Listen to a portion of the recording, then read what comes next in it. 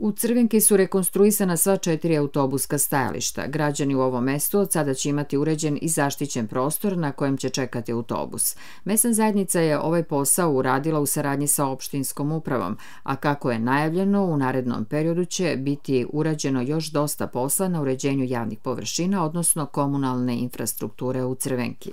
Danas, kao što vidite, smo završili radove na zameni autobuskih stajališta u Crvenki i zahvaljujući opštinskoj upravi koja nam je obezbedila sredstva u ove namene, sada imamo četiri potpuno nova stajališta.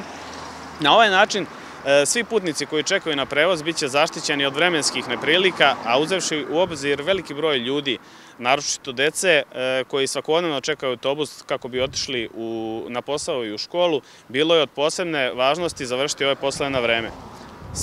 Ovo je samo jedan u nizu radova koje sprovodimo u našem naseljenom mestu, zajedničkim zalaganjem i trudom e, želimo da unapredimo našu sredinu kako bi bila lepša i bolja i na koji ćemo svi da budemo ponosni.